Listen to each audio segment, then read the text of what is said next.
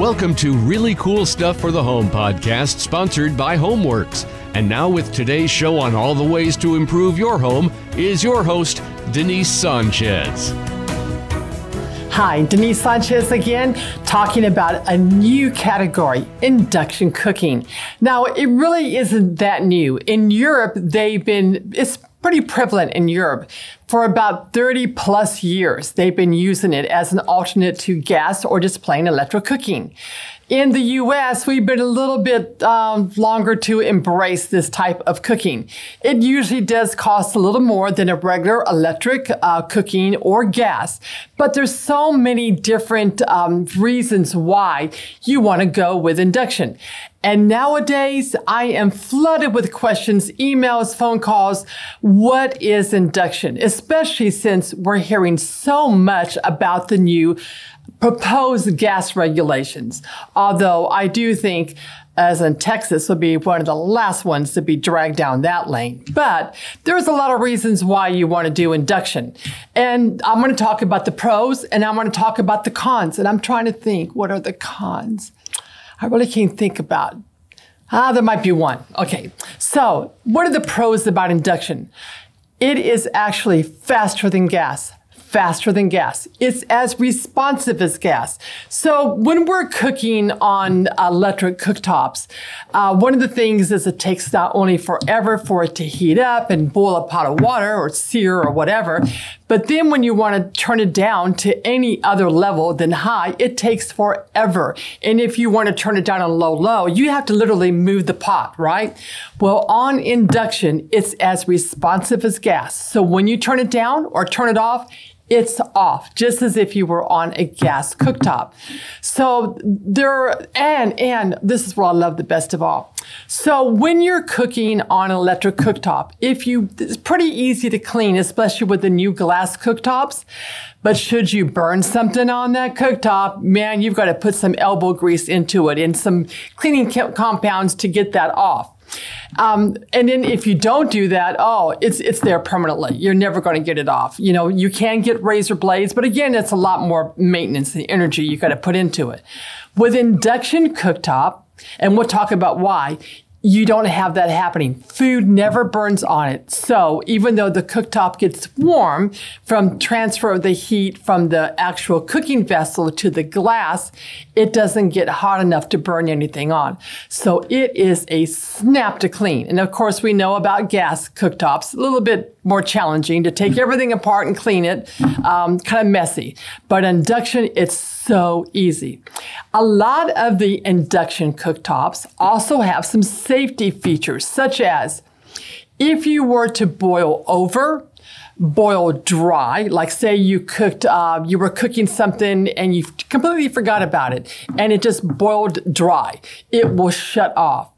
Um, another thing is if there's no cooking vessel on there, it's not going to turn on. So unlike a gas or electric, you have a pot on there or don't have a pot on there, it will, it will turn on and it can stay on, which can be dangerous, right? Well, on induction, that's not the case. So, and, and then another thing is, okay, here's the con. Here's the con. Okay, one con. Cooking vessels. You can't just put anything on to a an, an induction. Because how it works is this. So there is, I'm going to simplify it because I don't know all the science technical ways that this works. But I know that it uses a series of magnetic waves that excites the various molecules in the cooking vessel. So you can't use glass, right? That would be a poor conductor of heat anyway. Um, you can't use copper, unfortunately. Uh, it just doesn't doesn't work. You can use um, what is it? Lodge uh, oh, iron iron cookware. It loves induction loves iron cookware, as long as you have it. Um, uh, like enamel enamel on the outside so that you don't scratch your glass cooktop. You know, like like Le Creuset, Staub. There's a lot of uh, even Lodge has enamel cookware now. Uh, it works great, and and iron cookware, cast iron cookware actually is having a huge resurgence. So that is uh, another another form of um, uh, what you want to use. Now, to me, if you have cookware that's 100 years old, and if you can take a magnet and put it on the bottom and it has a real good stick, you're in business. You're in business. Uh, you can use it. It's just it has to have all that, um, you know, five layer, seven ply, whatever, the ferrous metal um, in it that makes it a good uh, cooking vessel uh, that conducts heat well. You're going to be in business. So the other challenge used to be availability and selection. So you got maybe a 30 or 36 inch drop in cooktop, all glass. Yeah, that was it. Now they have so many options and I'm going to put up some pictures. There are some like ILVE, like if you want that La Cornue or that real Frenchy look, you can get that with your induction range. There's 30 inch ranges. There's 36 inch ranges. 40 inch ranges, and even Fulgor Milano has 48 inch ranges. There are cooktops that range anywhere from 30, no, actually from, from 15 all the way to 48 inches. There are ranges now from 30, 36, 40, 48. Um, you know, different colors, different aesthetics. If you want that European look, you want the pro aesthetic, you always wanted that, but you don't have gas, you can now get that with induction cooking. So I really uh, invite you to look at all the different uh, options for induction and come in. We have a lot of them in our store. I love selling induction. I'm a bit big advocate of induction. I like gas, as, you know, fine. I'm not crazy about electric, but um, uh, induction is electric. It is electric. It's just a different way of cooking.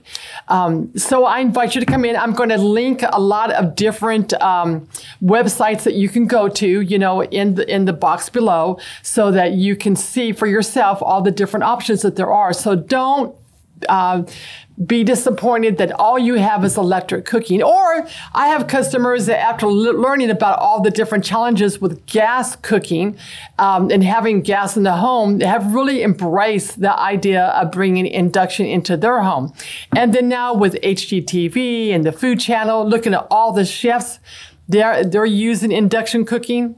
It makes a lot of sense. Check us out at www.homewerkssa.com or come into our showroom from 9 o'clock to 6 o'clock Monday through Friday or by appointment on Saturday. Once again, thanks. HomeWerks, really cool stuff for the home. We'll make your homework better for you.